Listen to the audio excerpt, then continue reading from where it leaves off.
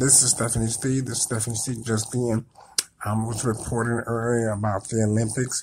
You know, them girls wanted to be running the 100 mile dash and the 800 mile dash. And they be jumping over hurdles and falling in the whirlpools and stuff like that there. Oh, yeah, they, oh, there's controversy is going on. They had this man, woman, semen, um, some sea man or something like that, sea monster. I don't know what it was, but it had more arms than Magic Johnson. Mm-hmm. And they was, them women on there was mad because they said that she jumped over six hurdles at one time and ain't no woman never did that in history and that's the first time and they, they, they, they confused because when she went to jump over the last six hurdles, something slipped. Mm-hmm. And they saw her go in and out of all gender washroom. So now they protesting.